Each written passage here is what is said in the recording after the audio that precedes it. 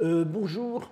D'abord, quelques mots sur les, prochaines séances. Alors, il y aura, comme il est annoncé dans le programme, il n'y aura pas cours la semaine prochaine ni celle d'après. Je reprendrai le cours donc le 23 février, et puis de nouveau le 2 mars.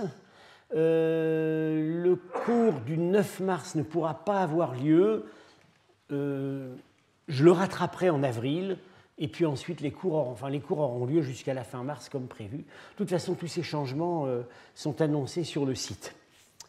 Euh, alors, on avait commencé à aborder donc les, les, mouvements de population nomade qui bouleversent de fond en comble tout le paysage historique, ethnique, archéologique, politique à partir du milieu du IVe siècle. Euh, je rappelle ici la, très hypothétique et grossière cartographie que j'ai esquissée avec les, les qui sortent de l'Altaï, euh, peut-être en partie poussés par des raisons climatiques, euh, et qui, dont une branche part vers l'Empire romain et l'autre avec des étapes que nous ne connaissons pas, probablement traverse la Sogdiane, en tout cas se retrouve incorporé dans les armées euh, du roi sassanide euh, Chapour II. Et c'est là où nous avons le premier témoignage, l'extraordinaire texte d'Amir Marcellin qui les a vus à l'œuvre sous les murs d'Amida en 359. Alors donc à ce moment-là, ils sont euh, donc incorporés avec leur propre souverain dans, dans l'armée sassanide. Mais euh, bon, cette, euh, cette tentative d'alliance semble avoir été rapidement débordée. nous voyons que Autocarestan, l'ancienne Bactriane, autour de, Bactre ici, les choses se, se, dégradent à la fin du IVe siècle. Un indice très net, c'est l'arrêt des émissions monétaires de la dynastie vassale des Kushano-Sassanides. Visiblement, les Sassanides ne sont plus euh, les maîtres du jeu, même indirectement.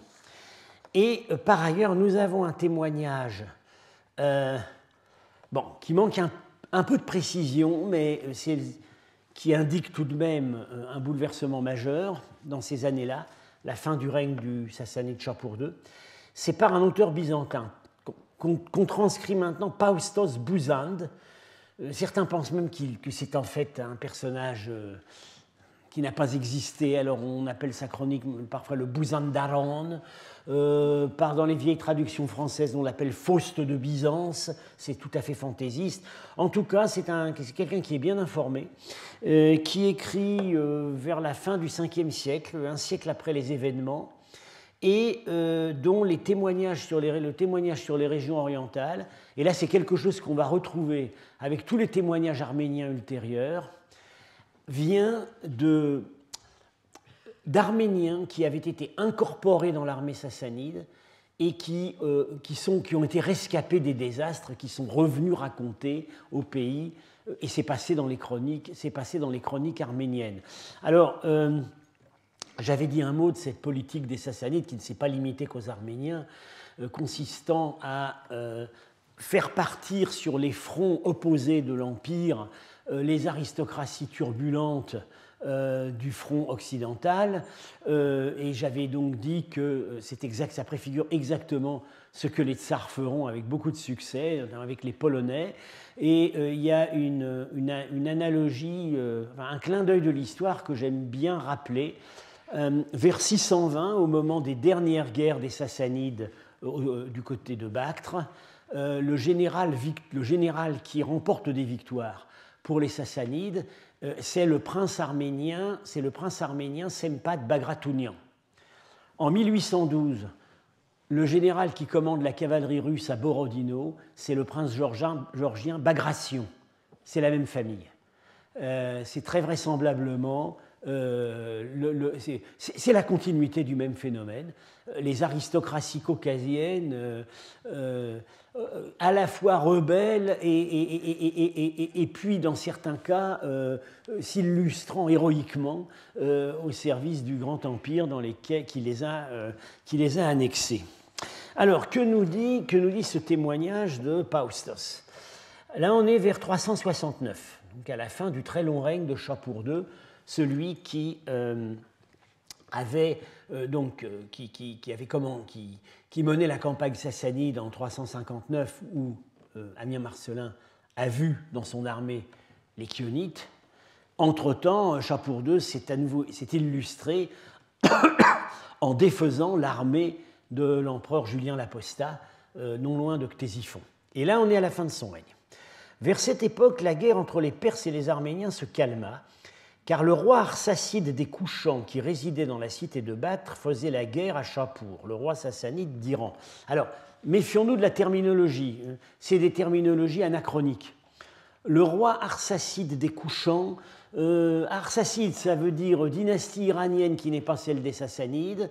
Les Couchants, ça veut dire, euh, les anciens territoires des Couchants. Et nous verrons que certains des conquérants vont effectivement assumer ce titre de roi des Couchants. Euh, le seul élément qui est donc fiable, c'est la cité de enfin, qui résidait dans la cité de Bactre on peut penser qui menaçait la cité de Bactre. Enfin, en tout cas, visiblement, ce n'est pas une rébellion des Kouchano-Sassanides, c'est l'arrivée, c'est l'arrivée de gens nouveaux sur leur territoire, et c'est certainement des gens apparentés à ces Kionites qu'on a vus euh, mobilisés dans l'armée de Chapour dix ans avant. Le roi Chapour mobilisa l'armée perse tout entière, et il rassembla aussi toute la cavalerie arménienne qu'il avait faite prisonnière, ce que je viens de vous, raconter. Quand la guerre eut commencé, l'armée Kouchan pressa terriblement les forces perses, elle en tua beaucoup, fit beaucoup de prisonniers et en mit une partie en fuite. Et puis là, on apprend qu'un eunuque arménien sauve la vie du roi. Alors plus tard, euh, cet eunuque arménien va se retrouver promu à des, à des, grands honneurs, etc. etc. Alors un, trait qu'il faut bien comprendre avec les sources, les chroniques arméniennes. Euh, dans les chroniques arméniennes, l'armée sassanide est toujours, l'armée arménienne est toujours vainqueur. L'armée sassanide est toujours battue, sauf quand, le général sassanide est un arménien. C'est toujours comme ça. Alors, euh, quelques années s'écoulent, et puis alors là, ça se passe encore plus mal. Vers 375, quand les Perses allèrent en guerre contre les Couchants, le roi de Perse envoya en avant avec ses propres troupes ces hommes qu'il avait capturés en Arménie, à nouveau. Quand les deux contingents s'affrontèrent, l'armée perse fut défaite par les forces des Couchants et s'enfuit en recevant des coups terribles. Les Couchants les rejoignirent et n'en laissèrent pas un en vie. Personne ne survécut pour ramener la nouvelle, sauf deux officiers arméniens. Euh, alors on voit, bon, évidemment, c'est typique d'une guerre contre les nomades, il n'y a pas de bataille rangée, euh, euh, ça, se passe dans la, ça se passe dans la débandade. Alors, il y a des choses qui sonnent très vraies, dans, ces, malgré l'anachronisme de la terminologie, il y a des choses qui sonnent vraies dans ce témoignage. En 369, vous noterez que le roi, le roi sassanide a participé personnellement à la bataille, puisqu'il a failli y laisser sa vie. Il a 57 ans. En 375, on n'entend pas dire qu'il a participé à la bataille. Il a 65 ans. Et il est à la fin de sa vie. Et en plus, on sait, sait que dans ces dernières années, Chapour II était très diminué. Donc, ça donne l'impression de, quelque chose d'authentique. Alors, dans la foulée, dans la foulée, dans les dernières années du IVe siècle, on voit arriver au sud, c'est-à-dire passant l'Indo-Couche du côté de Kaboul et du Gandhara, on voit arriver des nouveaux venus, euh, qui ne sont pas forcément exactement les mêmes que, ceux qui sont désignés à l'ouest comme Kionites, hein, ce sont visiblement, euh, tout le monde est d'accord pour considérer qu'ils font partie des Huns. Euh, mais alors, ces nouveaux venus qui, qui, arrivent à ce moment-là, on a sur eux que le témoignage de leur monnaie. Alors, ces monnaies montrent, euh, en fait, ces monnaies sont un peu plus tardives. Elles montrent, c'est déjà la dynastie qui va les remplacer, euh, les Eftalites, mais dès le début, dès ces premières émissions barbares, on a, on a ce type physique tout à fait, tout à fait extraordinaire, euh, avec une déformation crânienne spectaculaire en pain de sucre, déformation crânienne artificielle. Alors, les déformations crâniennes, on en avait vu avec des conquérants nomades précédents en Asie centrale, les Yuechi, mais c'était beaucoup moins, marqué, moins spectaculaire. ce type de déformation, on, le retrouve dans, on le retrouve en Gaule dans des tombes qu'on attribue à des, à des, aux, Huns. Alors on dit même, on dit même Louis Ambis pensait que bah, c'était toujours pratiqué, ces déformations étaient toujours pratiquées en Saintonge. Jusqu'au XIXe siècle, les médecins s'insurgeaient évidemment contre cette pratique.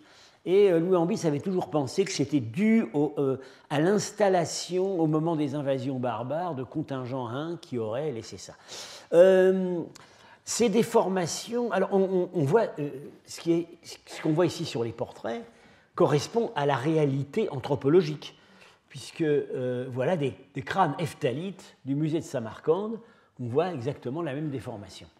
Euh, ça a un sens bien précis. Hein. Euh, c'est destiné à marquer l'ethnicité et probablement aussi l'appartenance sociale. La déformation crânienne, c'est quelque chose que vous ne pouvez pas falsifier. un, conquérant, un conquérant pourra, des gens pourront toujours apprendre la langue des vainqueurs, au point d'arriver à donner le change, ils pourront prendre leur costume, mais ils ne pourront pas changer la forme du crâne qu'on leur a donné à leur berceau. Et c'est un marqueur absolument euh, immanquable. Alors on les voit arriver donc, on les voit arriver sur ces monnaies. À partir de là, euh, les, questions, les questions commencent, parce que comment les désigner? On dit des uns, probablement donc kionite, puisque c'est le même mot cléen, comme je vous l'ai dit. Sur les monnaies, on a une légende qui sont désignées comme Alchon ou Alchan. Il y a un problème de lecture.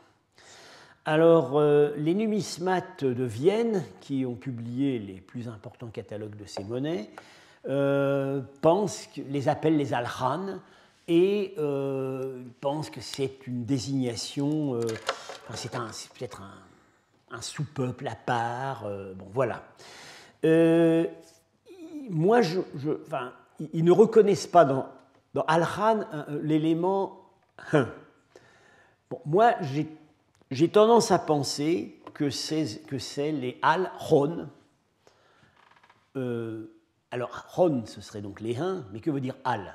Eh bien, il y a un vieux mot turc, Al, qui veut dire rouge. Ce serait les Huns rouges. Et on sait que plus tard, on va avoir les reins blancs. Euh, et les reins rouges, euh, ils sont connus, euh, les Byzantins en parlent pour des époques ultérieures. Les, alors, les Kermikiones. Alors, Kermi, Kermi c'est le même mot que. Enfin, c'est un mot iranien. c'est un mot iranien qui qu'on a en fait Karmir, et effectivement on a les, les, les Karmir dans certaines, certains textes Pélévi, c'est un mot qui veut dire rouge. Donc, euh, il y aurait dans un cas le nom des reins rouges en iranien et dans l'autre cas dans la langue natale qui serait du turc. Euh, alors, on a aussi les, les, Arméniens parlent des Walchon. Alors, Walchon serait aussi peut-être le, euh, la déformation de cet élément al. Euh, bon, c'est compliqué, euh, euh, et puis, on n'arrive pas non plus à se mettre complètement d'accord sur la lecture des légendes, mais bon, voilà ce peut, les hypothèses qu'on peut faire. Alors, cette vague ou ces vagues d'invasion, si vous revoyez la carte que j'ai esquissée, bon, on les, on les, a vues là, on les voit, on les voit arriver en Inde du Nord-Ouest, un siècle plus tard, on a des, gens, euh, enfin des personnages qui s'appellent Grumbates, comme le chef des Chionites qu'avait vu Amir Marcelin, qui sont établis euh, à demeure, euh, au sud de Bactre. il a bien fallu qu'ils traversent, la Sogdiane, dont au cours précédent, j'ai indiqué l'état quand même de nouveau relativement prospère à cette époque, euh, avec un dynamisme nouveau de fortification, un début de dynamisme commercial, etc. Bah, ils ont certainement traversé la Sogdiane, mais euh, on là, on n'a aucune source, on n'a aucun récit, aucun texte qui en parle. Les seuls qui auraient pu nous en parler, c'est les Chinois. Mais il se trouve que dans ces siècles-là, la diplomatie chinoise a perdu le contact avec l'Asie centrale. elle a perdu le contact au deux, à la chute de la découchant au début du IIIe siècle, et elle ne retrouvera le contact qu'au milieu du Ve siècle. Il y, a une, période de blanc. Euh, alors, euh, malgré tout, du point de vue dans l'archéologie, euh, bon, on n'arrive pas, on pas à, associer des destructions de forteresses, de, de, de, de remparts, des, de villes à cette vague d'invasion, mais il y a tout de même un marqueur, c'est la céramique. Euh, c'est le moment où euh, on voit se diffuser dans les oasis, les villes de Sogdiane, une céramique d'un type nouveau, qui est une céramique grossière. Alors la précédente, c'était déjà pas brillant, mais alors celle-là, c'est assez grossier, c'est vraiment de la céramique paysanne, euh, avec des euh, marqués, on, la, repère tout de suite parce qu'il y a des fausses dégoulinures de, de, vernis qui veulent faire joli, en fait c'est des dégoulinures. Euh, les archéologues appellent ça la céramique Kaunchi à cause du premier site où on l'a trouvé. Et euh, il y a les archéologues, notamment, Marchak et Raspopova, dans un très bon article qui était paru d'ailleurs en français, Les nomades et la Sogdiane, dans un volume dirigé par Henri-Paul Francfort, Nomades et sédentaires en Asie centrale, paru en 90, ils voient un, un, un, une conséquence de ces invasions nomades par un effet, ce, qu'ils définissent comme un effet domino. C'est-à-dire que cette céramique, ce n'est pas les nomades qui l'ont fabriquée. Normalement, en principe, les nomades ne fabriquent pas de céramique. Ils utilisent, ils, ils fabriquent des chaudrons, euh, ils ont des chaudronniers, ils ne fabriquent pas de céramique, ils utilisent la céramique des populations qu'ils traversent ou chez lesquelles ils s'établissent. Mais euh, cette céramique, aux, aux, époques précédentes, était typique des populations montagnardes, semi-montagnardes des Piémonts des populations un peu retardées par rapport aux populations des plaines. Et alors, ces incursions nomades auraient entraîné une dépopulation dans, le cœur des oasis avec un effet domino. C'est un repeuplement par euh, ces populations venues des Piémonts. Euh, euh, c'est quelque chose qu'on observe très bien et qui est très bien documenté au XVIIIe siècle dans la région de Samarcande. Euh, il y a eu à ce moment-là des invasions de, de Kazakhs et euh, on, voit que c'est exactement comme ça que ça s'est passé. C'est que les, effets, les effets des invasions nomades ne s'observent pas toujours de manière directe. Euh, alors, bon, là, c'est quand même très très obscur pendant un demi-siècle, mais oh, finalement, il y, a, il y, a, un pouvoir qui va se construire, émergent de ces nouvelles populations, un pouvoir que, euh, les textes que, les textes que nous avons qualifient toujours de Hun. Hein, les textes, les Grecs, les Arméniens nous parlent de Hun, mais là ils ont un nouveau nom, c'est plus les Chionites, bon, ils sont qualifiés, ce n'est pas seulement des Huns, ce sont les Huns Kidarites, d'après euh, un de leurs, euh, d'après semble, semble-t-il leur premier souverain. Euh, en fait, voilà, euh, on a un texte chinois qui, en parle très brièvement. Euh, c'est des informations recueillies vers 437, donc au, moment où la Chine reprend contact. Euh, ça a dû se passer donc peut-être 10 ou 20 ans avant. Le roi des grands Yuechi, c'est-à-dire couchant, encore ça désigne la zone, appelé Kidara, brave et féroce, finalement envoya ses troupes vers le sud et envahit le nord de l'Inde en franchissant les grandes montagnes, c'est-à-dire l'Hindoukouche, pour soumettre les cinq royaumes qui étaient au nord du Gandhara, des royaumes de, de montagnes qui sont au nord de, la, nord de l'actuel Pakistan. Euh, donc ben, là, on a, on a, un nom. On a le nom, on voit, on, voit, on voit une construction étatique, on nous parle d'un roi, d'un conquérant. Alors, c'est probablement pas lui, ça doit être euh, son fils ou son petit-fils, des monnaies frappées au Gandhara. Alors, euh, ce qui est assez euh, intéressant à noter, c'est qu'il euh, y a. Bon, le, personnage, bah, il s'intitule Roi des couchants. Il se fait représenter à la Sassanide, hein, parce que c'est le, le seul moyen à cette époque d'exprimer une symbolique royale. Il y a des rubans qui flottent sur ses épaules. Il a une couronne à ailes qui est un petit peu déformée en fleuron. Il a un symbole du soleil et de la lune sur la tête, imité de la couronne sassanide. Mais il n'a pas tout à fait une tête de sassanide. Euh, c'est-à-dire qu'il n'a pas de barbe. Euh, tous les sassanides sont barbus, sauf tout à fait à la fin un roi enfant. Euh, un homme chez les sassanides ne peut pas ne pas être barbu on sait par les Chinois qu'on rasait la barbe uniquement aux criminels. Si vous n'aviez pas de barbe, c'est que vous étiez un eunuque ou un criminel. Donc, euh, les rois étaient toujours barbus. On a même l'exemple de Chapour II, dont j'ai été amené à parler. Chapour II, c'est un fils posthume. Il a été couronné dans le ventre de sa mère. Dès ses premières monnaies, il est barbu. Alors, euh, lui, il n'a plus de barbe, plus de moustache. Et ça, bon, la, pilosité rare, c'est un marqueur, c'est un marqueur, euh, disons, un peu conventionnel des peuples dits altaïques, type mongoloïde. voilà. Vous verrez que euh, la volonté de rupture physique euh, n'est quand même pas très très marquée sur ces portraits, de même que la volonté de rupture politique ne l'est pas non plus, puisque ces gens-là donc ont une symbolique régalienne sassanide et s'intitulent roi des couchants. Alors vous verrez qu'avec la dynastie qui va suivre, les Eftalites, là, on y va carrément et la rupture est totale sur tous les plans. Alors voilà pour nos Kidarites. Euh, à nouveau, ceux qui nous en parlent le plus en détail, euh, ce, sont, euh, ce, sont, les Arméniens. Alors, euh, ce sont les Arméniens parce que euh, rapidement, ces Kidarites ont, causé des problèmes aux Sassanides sur leur frontière orientale, comme les Chionites avaient fait un siècle avant.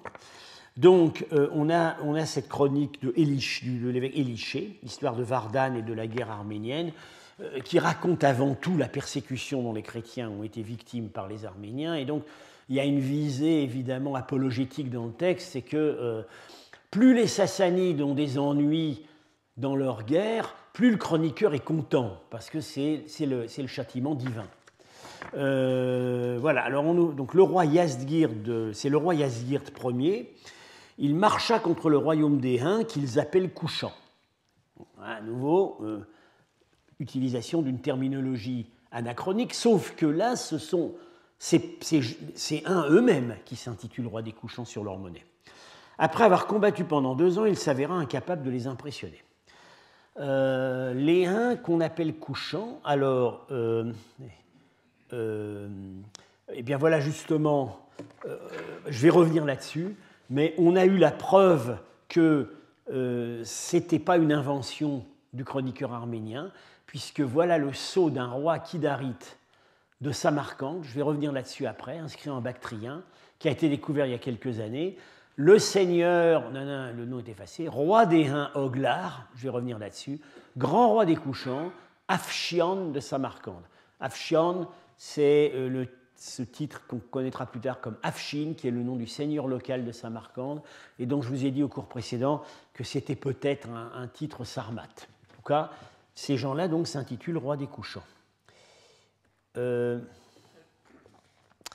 alors, euh, ensuite, quelques années plus tard, 949.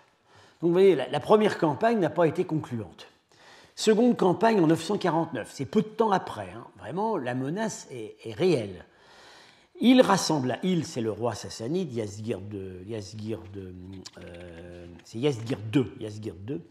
Il rassembla une force infinie en multitude et attaqua le pays des Eftalites. Hein, c'est un anachronisme, les Eftalites seront là plus tard.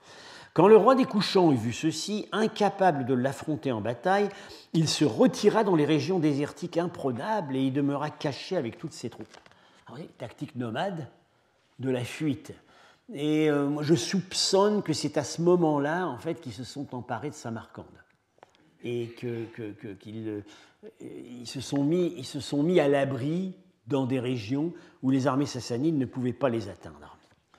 Euh, on a effectivement voilà, euh, avant la découverte du sceau de, ce roi de Samarcande qui est euh, dit roi des couchants, on avait cette monnaie écrite Kidara en sogdien, circulant à Samarcande. Donc on avait la preuve qu'ils avaient pris Samarcande. alors, le roi des Perses attaqua ses provinces et ses pays, donc que le roi des Kidarites a déserté avec son armée, il a fait place nette, pris beaucoup de forteresses et de villes, très important pour nous, ça veut dire que la vie urbaine euh, n'est pas, pas anéantie dans ces régions, amassa des captifs et du butin et les ramena dans son empire. Mais alors, voilà, juste après, ça se gâte. 453-54, le roi Yazgird sortit avec toute son armée et marcha à la guerre contre les couchants il ordonna aux prisonniers arméniens, prêtres et nobles, de se joindre à la marche depuis Gorgan, Au sud-est de la mer Caspienne, qui, était, est la grande base de départ des armées sassanides. Il, euh, il, ordonna de les tenir dans la forteresse de Nishapur. Quand le roi fut arrivé sur la frontière de l'ennemi, il fut complètement vaincu et reparti couvert de honte, ayant perdu l'élite de son armée, ainsi que d'autres soldats de la cavalerie car l'ennemi n'avait pas attaqué les Perses en opposant des lignes de front, mais par surprise en tombant sur chaque aile, passant beaucoup au fil de l'épée, puis disparaissant indemne. En employant cette tactique pendant de nombreux jours, ils épuisèrent l'armée perse. à nouveau, la tactique de harcèlement bien connue des populations nomades qui n'alignent pas des armées en bataille, mais qui, euh, vont, utiliser une tactique de, de, une tactique de, de, euh, de piqûre, d'affaiblissement, de harcèlement sur les ailes. Alors Yazgir passe, sa fureur sur deux, prêtres arméniens, deux pauvres prêtres arméniens qui étaient avec lui. Ces saints furent martyrisés dans la province appelée Badris. Alors ça nous indique où a eu lieu la bataille. Le Badris, c'est euh, au nord-ouest de l'Afghanistan, c'est à l'ouest de Bactre. Donc on, sait, on voit où la bataille a eu lieu. Et euh, alors un petit peu après, on a un texte byzantin, Priscus, qui, relate en fait, qui résume les, ambassades euh, envoyées à cette époque. Alors c'est par lui qu'on a la description la plus détaillée de la cour d'Attila, parce qu'il a, été lui-même ambassadeur chez Attila. Donc c'est le, texte le plus précis que nous avons sur Attila, c'est par Priscus. Alors là, il nous dit le nouveau roi des Perses, Péroz, donc qui a succédé à son père Yazdgird, était sur les frontières entre son peuple et les Huns Kidarites. Donc à nouveau, Huns Kidarites. La cause de la guerre était que les Huns ne recevaient plus le tribut que les précédents souverains des Perses avaient payé. Très intéressant à lire. Ça veut dire que euh, les, les, les, coûts que les nouveaux envahisseurs ont portés à l'armée perse ont été tels que les Perses ont été obligés finalement d'acheter la paix en versant un tribut. Ça, on va retrouver ça au siècle suivant. Le père du roi, donc Yasgir II, avait refusé le paiement et entrepris la guerre. probablement l'épisode dont, dont, on nous a parlé juste avant, euh, que son fils avait hérité avec le royaume. Péroz dépêcha un envoyé à Kunras, le chef des Huns, disant qu'il souhaitait la paix et lui donner sa sœur en mariage. Très intéressant ce nom de Kunras. C'est probablement non pas un nom mais un titre. C'est Khan des Huns. Parce qu'à cette époque, euh, les Grecs ne sont pas familiers du mot turc. Khan, alors ils donnent, il donne, un, une, une, désinence grecque, ras. Mais en fait, c'est le Khan des Huns. Voilà. Et puis, et puis, dix ans plus tard, euh, dix ans plus tard, les Sassanides en ont fini avec les Kidarites une ambassade arrive à des Perses annonçant qu'ils avaient écrasé les Huns Kidarites et avaient pris leur cité de Balaam, qui est sans doute Bactre. Bah, ils ont fini avec les Kidarites, mais vous allez voir que pour ça, ils se sont alliés avec le diable. Parce qu'ils se sont alliés avec les Eftalites, et les Eftalites, ça va être encore pire. Euh, euh, donc, des adversaires quand même, euh, au 5e siècle, qui, apparaît, jusque dans ces années 460, euh, des adversaires redoutables. Mais, euh, curieusement, ce n'est pas la seule manière dont nous appréhendons cette nouvelle, ce nouvel état des Kidarites. Quand quand, on regarde, quand on ne regarde pas sur les frontières, mais qu'on regarde à l'intérieur de l'Asie centrale, on a plutôt l'impression d'une période, je dirais, d'une d'une période novatrice où des germes de progrès sont semés. Je m'explique. C'est la première fois depuis les Grecs, cinq siècles auparavant, qu'un pouvoir politique centré sur la Bactriane va unifier à la fois la Sogdiane au nord avec Samarcande et l'Inde du nord-ouest, reconstituant donc, même les Couchants n'avaient pas fait ça. Les Couchants avaient conquis l'Inde, mais ils n'avaient pas été au nord. Et, les Kidarites, finalement, ils, ils, reconstituent tout ça. Alors je crois que je dois avoir voilà, une carte euh, qui est récemment parue, euh, où euh, on peut voir que ce, que les ce dont les Kidarites se sont emparés, c'est quand même, bon, ça c'est visiblement leur pouvoir s'est construit en Bactriane sur l'émergent des, des hordes des Huns non structurés qu'on voit avant. Ils, se sont étendus jusqu'à Samarcande, ils avaient la région de Kaboul et on les voit, on les voit aussi ici. Et puis ils ont fait des incursions sur. Donc voilà, un, empire qui reconstitue pour la première fois l'empire qu'avaient tenu les Grecs. Euh, euh,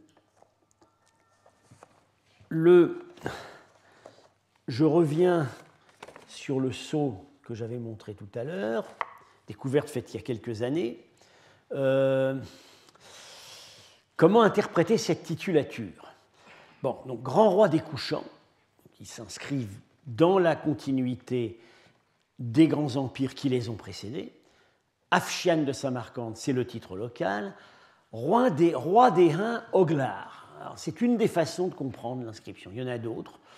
Euh, euh, ça pourrait être, euh, en fait, Oglar pourrait être une dénomination tribale, ça pourrait être le nom qu'on va retrouver plus tard comme les Ogours. Il y, a deux, il y a deux grandes confédérations chez les peuples turcs, il y a les Ogours et les Oghuz. Et ça pourrait être déjà les Oghuz. Autre, les. Autre façon de comprendre, c'est le mot, c'est en fait le mot turc Ohul qui veut dire fils. Donc ce seraient les Huns, euh, les Huns royaux. Voilà, les Huns de la lignée royale, les fils des rois. Euh, en tout cas, oui, ce personnage affiche une identité politique multiple. Hein. à la fois Kushan, local samarcandi et euh, nomade, d'origine nomade.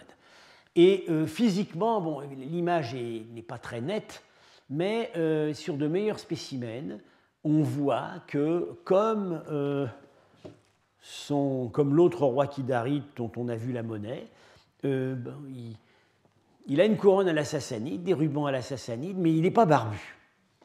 Il marque quand même une certaine identité. Euh, il se pose un problème avec le, lieu où ce sceau a été trouvé. C'est donc, ce sceau est émis par le représentant d'une branche de la dynastie qui visiblement, bah, il le dit lui-même, règne à Samarcande, tout à fait à l'extrémité nord de l'Empire. Or, d'après les indications fournies par les marchands au collectionneur Amanur Rahman, qui a acquis ce sceau euh, et euh, qui m'a autorisé avec Nicolas Sims Williams à le publier, ça a été trouvé ici, au Bouner, au nord du Pakistan. Et euh, alors, ce qui complique le tout, c'est qu'entre-temps, des fouilles d'un château, d'un site royal probablement, à côté de Samarcande, ont donné des sceaux du même type, moins lisibles. On ne lit pas bien l'inscription, mais on voit que c'est les sceaux de la même série. Alors, évidemment, une explication perverse, ce serait de dire, eh ben, ils n'ont pas su contrôler, ils contrôlaient pas leurs ouvriers sur la fouille près de Samarcande, euh, un seau a été volé, et puis, euh, et puis ça, a fini par, être vendu dans une collection privée, et euh, pour donner le change, l'intermédiaire a fait croire que ça venait du Pakistan. J'y crois pas trop, parce que je, n'ai pas connaissance actuellement de circuits d'exportation d'objets volés dans des fouilles contrôlées euh, en Ouzbékistan qui partirait tout de suite sur ces circuits de collectionneurs à Londres. Où, le collectionneur qui, possède le sceau, en fait, est à, est à, est à Bahreïn. non, il est à Dubaï. Ça me paraît difficile à imaginer. Il y a un autre scénario que je crois plus vraisemblable, c'est que l'empire kidarite, bah, je l'ai dit, il a peut-être été éphémère, mais il était grand. Il y avait plusieurs branches dynastiques visiblement. Il y en avait une à Samarcande, il devait y en avoir une à Bactre et puis probablement euh, une au Gandhara. Euh, et ces gens-là s'échangeaient de la correspondance officielle. Ce qui expliquerait la découverte du sceau d'un roi, d'un prince de Samarcande dans cette, dans cette vallée. Euh, dans cette vallée du le Bouner, en fait, c'est une partie, c'est la vallée du Swat. En plus, on sait que les derniers restes de l'État kidarite, justement, semblent se localiser là. Donc, euh, ça pourrait, ça, ça, ça pourrait être plutôt l'explication. Alors, de cette époque, il faut être prudent parce que les chronologies archéologiques sont pas, pas très précises pour ces siècles, je l'ai dit, étant donné que la céramique est peu innovante et les monnaies très rares, mais il semble quand même que ce soit de ces décennies, du milieu du 5e siècle, qu'il faut dater là euh, un nouveau dynamisme de fortification urbaine à Samarcande et autour de Samarcande, la construction d'un rempart interne qui matérialise la rétractation de la ville depuis l'époque antique, et peut-être déjà des fondations urbaines planifiées. Euh, il semblerait, par exemple, que c'est cette époque, à cette époque que remonte la fondation de la ville de Penjiken, dont j'ai déjà été amené à parler, donc je vais être amené à parler beaucoup plus. Donc, voyez, euh, vision ambivalente, quand on prend les Chinois, ils parlent de conquérants féroces, quand on prend, quand on prend les Sassanides, euh, ben, ce sont des adversaires redoutables qui sont perçus comme de purs nomades, on nous dit quand même qu'ils ont des villes. Et puis quand on les regarde à l'intérieur, euh, on voit, on a plutôt l'impression d'un début de stabilisation, euh, d'un dynamisme peut-être favorisé par justement cette, première, cette, intégration de territoires qui avaient été depuis longtemps séparés. C'est aussi le moment où on voit naître la peinture murale sogdienne dans la région. Je, vous en montrer des exemplaires tout à l'heure. Dans la région de Samarcande, par probablement migration d'artistes venus de Bactriane. Donc des échanges humains, des échanges artistiques.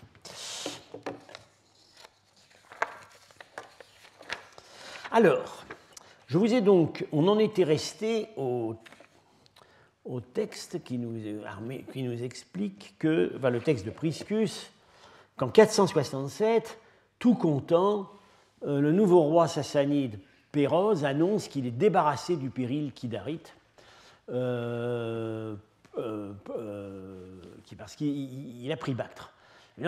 S'il a été annoncé ça aux Byzantins, c'est évidemment c'est un message. C'est pour dire aux Byzantins maintenant, vous devez vous tenir à carreau avec nous, parce que nous sommes libérés d'une pression sur le front Est. Donc on va avoir le temps de s'occuper de vous. Bien.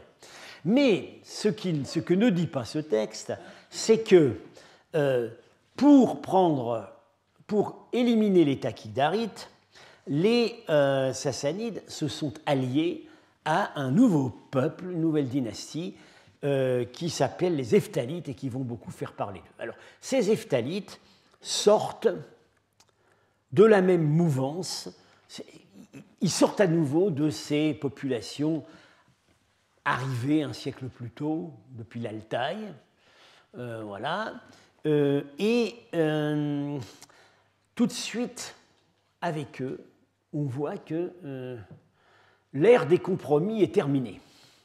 Déjà, voilà comment ils se font représenter. c'est une monnaie d'un des souverains, enfin vers 460, 600, ça doit être Yavuga. Alors, la déformation crânienne que j'ai montrée tout à l'heure, quand même des rubans à la sassanide, mais bon, il n'a vraiment rien fait pour ressembler à pour avoir une tête présentable euh, dans le concert diplomatique. Euh, les, grosses boucles d'oreilles qui donnent un, aspect encore plus, encore plus féroce. Alors, euh, on a suffisamment d'exemplaires de monnaie de bonne qualité pour savoir que ça n'est pas dû à la maladresse du graveur. C'est pas non plus l'irrévérence du graveur qui a voulu caricaturer ses maîtres. C'est comme ça qu'ils ont voulu se montrer. Euh, que, euh, et à partir des Eftalites, le titre roi des couchants disparaît. C'est-à-dire que c'est très clair, il ne revendique plus de filiation politique avec les grands empires sédentaires précédents. Il se présente comme une, comme, une construction impériale nouvelle. Ça rappelle tout à fait, ça rappelle Attila, qui de tous les conquérants, euh, de tous les conquérants qui s'abattent sur l'Empire romain dans la première moitié du 5e siècle, sera le seul qui ne prétendra pas, sauf tout à fait à la fin, s'intégrer dans les structures de l'Empire romain. Euh, Que veut dire Eftalite Eh bien, on ne sait pas. Depuis assez peu de temps, on sait que la forme probablement authentique, parce qu'on l'a par les textes bactriens, c'est Evdal. Alors, avant ça, bon, Ebdal, euh, alors euh, on rapprochait ça de, de, de, Aft, Avd, le chiffre 7. Alors bon, il y a des confédérations nomades où c'est les sept, euh, les sept ceci, les sept cela. Alors maintenant, on pense que c'est peut-être une, étymologie populaire et qu'en fait, le, véritable nom était différent. Euh, la situation linguistique est difficile à saisir. J'en dirai un mot. Disons que euh, les, deux seules, les seules langues qu'ils emploient sur, leur monnaie, c'est euh, le bactrien et, euh, le moyen indien en. Que parlait-il vraiment On a, il y, a diverses hypothèses. à partir donc ces eftalites euh, on les a vus. Euh, en fait, ils, apparaissent sur le, euh, ils apparaissent sur la scène déjà vers 457, dix ans après, avant l'élimination des Kidarites. On les voit surgir à ce moment-là. Ils, ils, sont probablement en Bactriane orientale, sur les piémonts montagneux. Ils envoient une ambassade en Chine pour montrer qu'ils existent. Et du côté ouest, ils interviennent dans la querelle de succession qui éclate à ce moment-là pour le trône sassanide.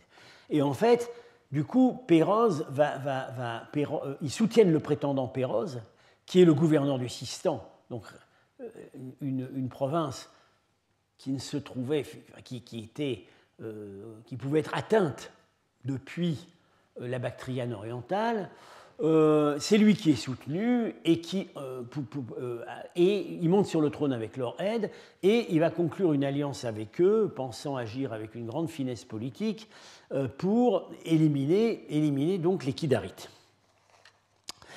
alors, les Eftalites ont laissé dans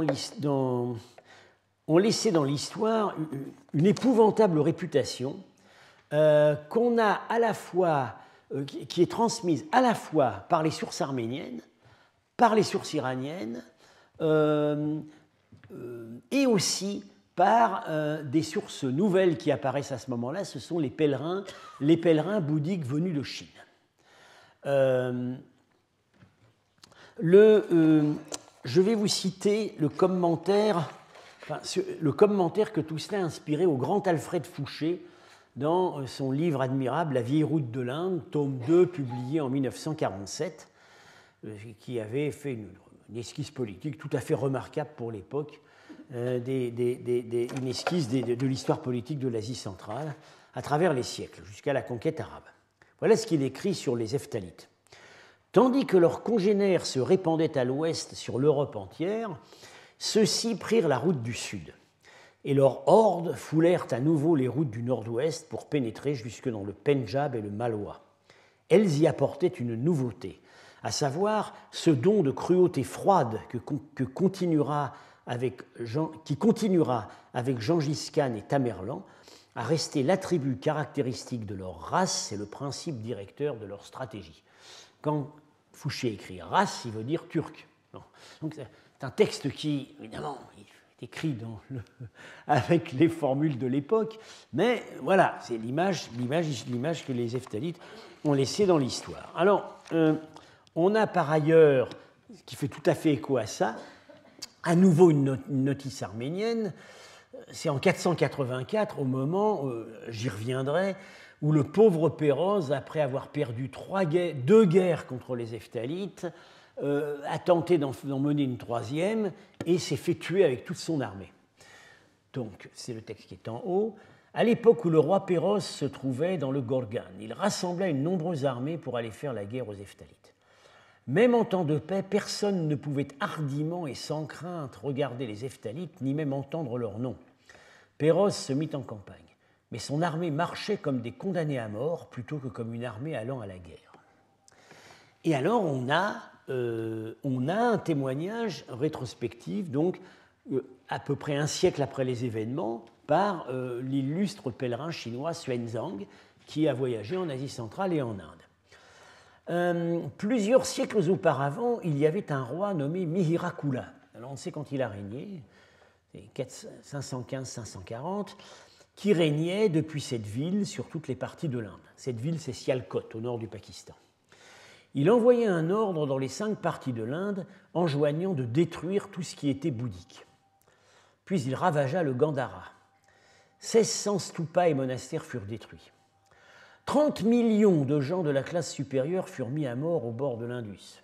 30 millions de la classe moyenne furent noyés. 30 millions de la classe inférieure furent donnés aux soldats comme esclaves. Vous voyez, il a le record absolu il a battu, il a battu Hitler, il a battu Staline, euh, il, a, il, a, le record absolu, et même, même peut-être Gengis Khan, il a le record absolu des massacres. D'ailleurs, en Inde, dans la littérature bouddhique, euh, ce, personnage Mihirakula se trouve toujours affublé du surnom Trihotikan, c'est-à-dire, euh, non, tri, Trikotihan, c'est-à-dire tueur de trois kotis. Un koti, c'est 10 millions d'habitants. Euh, alors le voilà. évidemment, hein, le physique que lui donnent les monnaies n'est pas, euh, euh, contradictoire avec l'image qu'en transmet Xuanzang. Alors ce qu'on voit qui est intéressant, c'est qu'il il ne se réfère pas au bouddhisme, clairement. Il a un parasol, un symbole royal indien, qui n'est pas du tout nécessairement bouddhique. Il a un trident qu'il ferait plutôt tendre du côté du shivaïsme. Et au revers, on a l'autel du feu à la sassanide. Donc une espèce d'éclectisme religieux, mais dans lequel il n'y a pas le bouddhisme. Euh, alors, euh, il faut peut-être. Euh, il faut.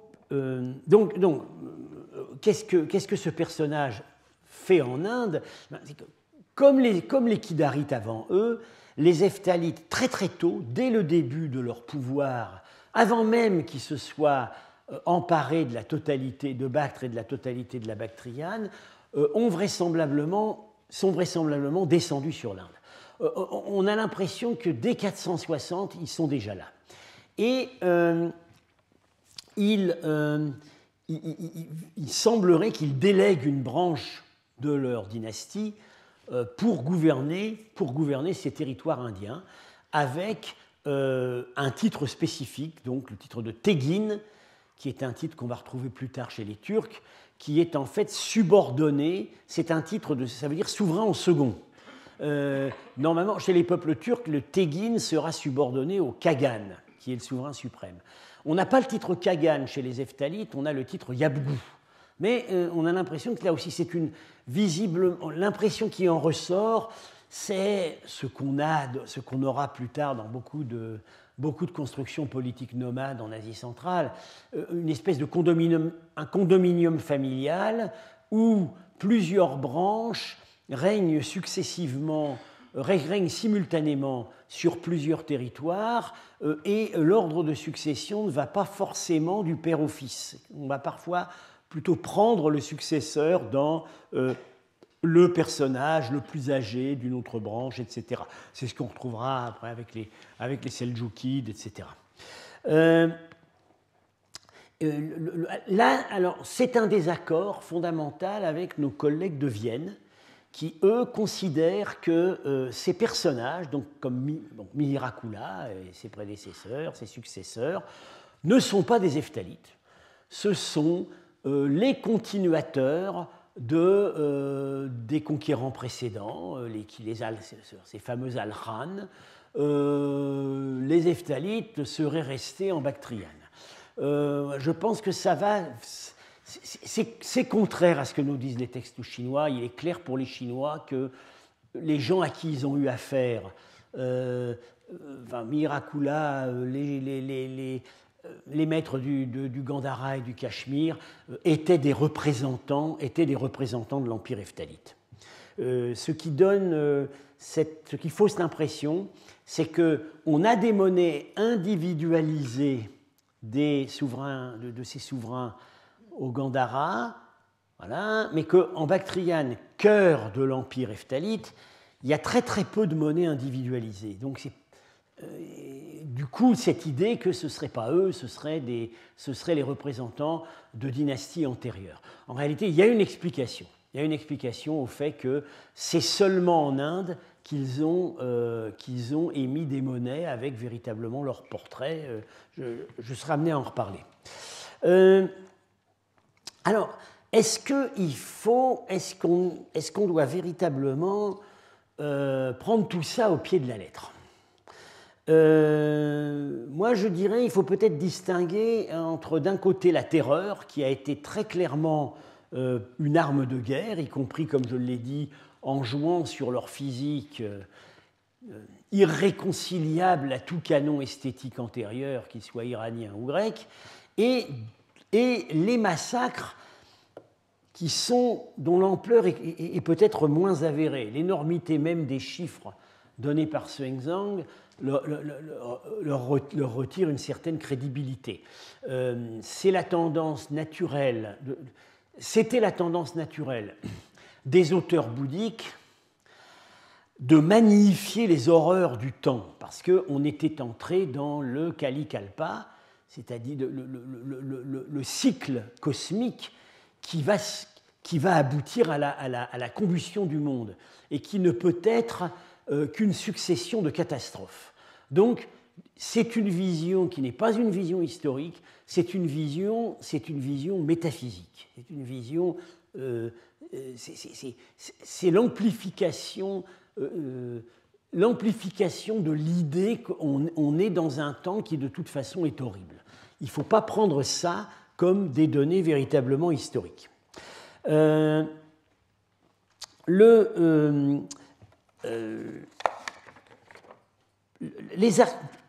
que, donne, que donne le matériel archéologique euh, pour ces régions de l'Inde du Nord supposées avoir été complètement ravagées à cette époque, puisqu'encore une fois, d'après ce texte de Xuanzang, euh, tout ce qui était bouddhique a été anéanti, euh, 1600 stupas et monastères détruits, etc. etc. L'archéologie n'a pas trouvé grand-chose pour cela. On, constate plutôt que le bouddhisme existait avant, il continuera après. Euh, certes, il amorce une période moins prospère, un, long déclin euh, séculaire, mais euh, il n'est pas du tout évident que l'action propre des Eftalites y ait été pour grand-chose. Alors, euh, on a parlé, euh, euh, le grand archéologue anglais Sir John Marshall, qui fouillait le site de Taxila, a cherché les preuves des horreurs des, dans les années 1920, a cherché les preuves des horreurs des Eftalites, il pense les avoir trouvées, puisqu'il a trouvé effectivement il y a un, monastère près de Taxila où il y a eu un massacre. Alors, quand on va voir le matériel, ce massacre a fait six victimes. Euh, et euh, une partie, une partie des victimes sont en fait des eftalites. Donc, il y visiblement, il y a eu, euh, un combat dans, lors d'une tentative, probablement de pillage, une petite incursion de pillards pour s'emparer des, des, richesses du monastère. ça n'évoque pas une persécution, un génocide. Une persécution, une persécution massive. bon, effectivement, alors il y a des monnaies de cette époque dans la couche de destruction de Taxila, donc peut-être qu'effectivement là il y a eu un, moment difficile. le, si on prend les pèlerins bouddhiques, non, pas écrivant un siècle après les faits, comme Xuanzang, mais contemporains des événements, euh, on n'a pas le même son de cloche. Euh, le premier pèlerin dont on a un récit euh, assez détaillé qui arrive à cette époque, depuis la Chine, c'est Facienne, qui se trouve au Gandhara vers 405. alors il est maintenant facilement accessible dans une excellente traduction française de Jean-Pierre Drège, parue aux belles lettres dans la collection des classiques chinois. Facienne passe au Gandhara exactement au moment où euh, les premiers, euh, cette, première vague nomade dite des Alchon euh, est censée s'y déverser. Facienne ne nous dit rien du tout sur ces gens-là, rien du tout. Lui, il ne voit que, alors peut-être, on s'est dit il était tellement détaché du monde sensible qu'il voyait vraiment rien de, rien aucune des horreurs qui se passaient autour de lui. Effectivement, il s'intéresse aux reliques, il s'intéresse aux monastères.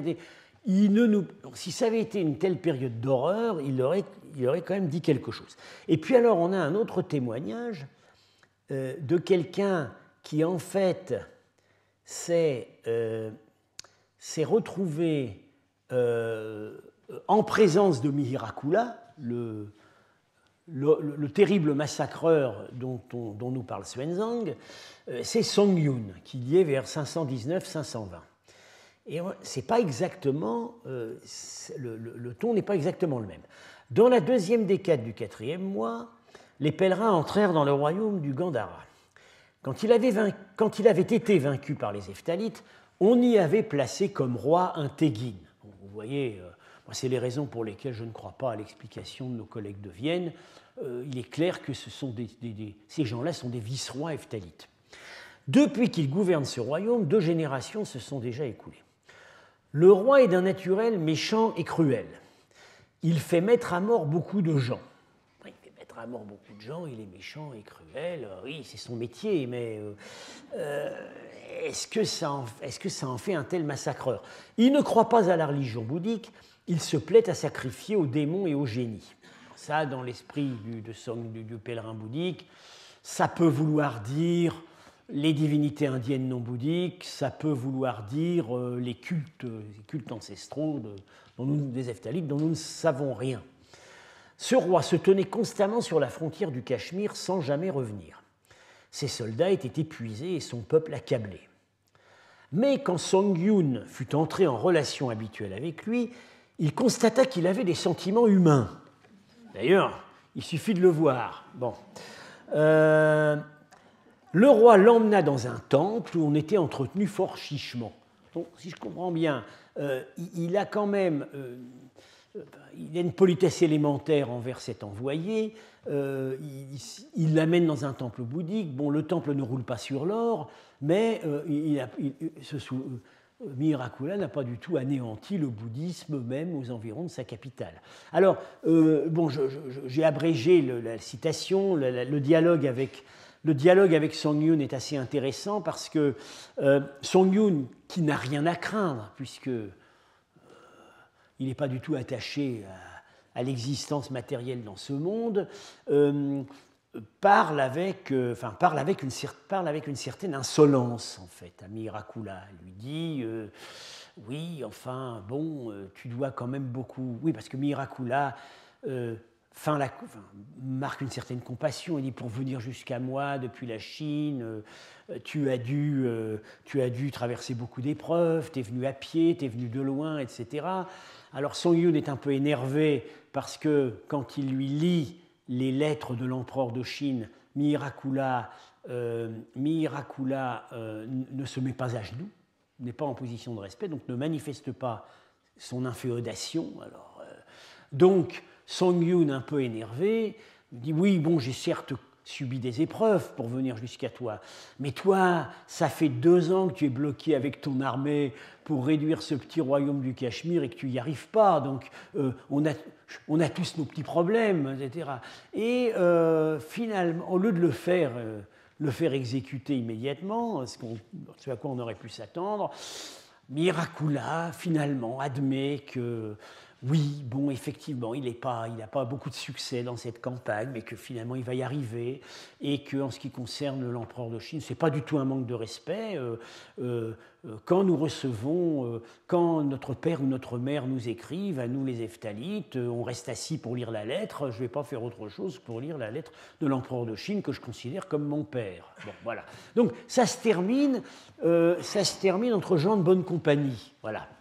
Euh, alors, très intéressant, il y a parfois quand même des, dans ces textes des résonances euh, tout à fait curieuses. Euh, voilà, un contrat bactrien, je vous ai parlé des archives bactriennes du petit royaume de Robe, hein, donc à ce moment-là, qui se trouve sous domination ephthalite, 517. C'est pratiquement exactement l'année où Sangyun a rencontré Mihirakula aux frontières du Cachemire. Et Sangyun nous dit donc les soldats étaient épuisés et le peuple accablé. On va comprendre euh, parce qu'ils sont saignés à blanc par les dépenses de cette guerre. Et que nous dit ce contrat bactrien La taxe des seigneurs eftalites sur notre maison était lourde, et je n'ai aucun actif domestique sur lequel nous puissions la payer.